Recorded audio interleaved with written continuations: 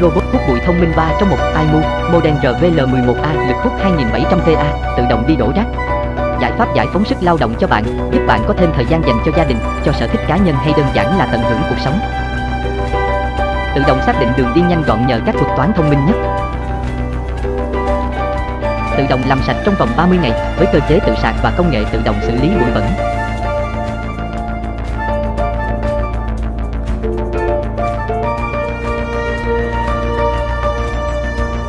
Khi điều khiển nước điện tử với 3 chế độ nước tùy chọn theo nhu cầu sử dụng của bạn, nước thấp sử dụng trong phòng ngủ, trung bình nước sử dụng trong phòng khách, nước cao sử dụng trong nhà bếp.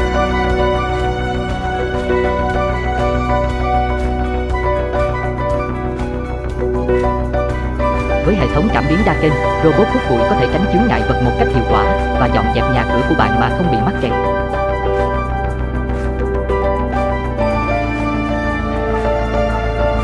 Robot tự quay về trạm sạc khi kết thúc phiên làm việc hoặc khi gần hết pin. Nếu trước đó chưa dọn xong, robot sẽ tự động tiếp tục làm việc khi đã sạc đầy.